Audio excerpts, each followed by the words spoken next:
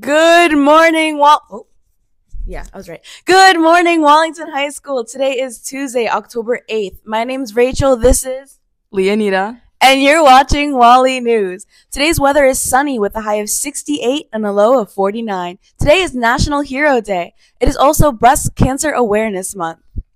For fundraisers, the Wallington High School Choir is holding their annual Socktober Drive. Socks are one of the most requested items in homeless shelters. All donations of new socks can be dropped off in the box outside of the main office throughout the month of October. Thank you for helping out those in need. Now for sports. Congratulations to the girls volleyball team for winning their game against Mary Help. Mary's? Mary? it's Mary Help. Mary Help. That's Woo!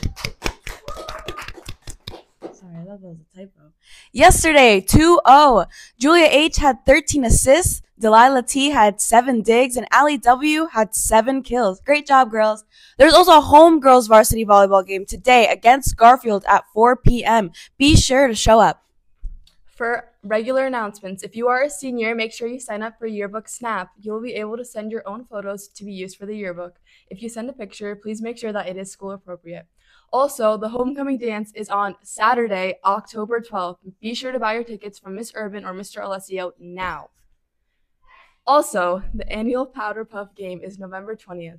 Junior and senior girls, make sure to sign up in your Google Classroom to play, and guys, sign up to cheer on for your fellow classmates. Tickets are now being sold for $3 pre sale and $5 the day of. Please see Mr. Ralph or a member of the flag football team to purchase your ticket. I don't get that joke. How? Okay, I'll say it Yeah. then. What should you do if no one laughs at your science jokes?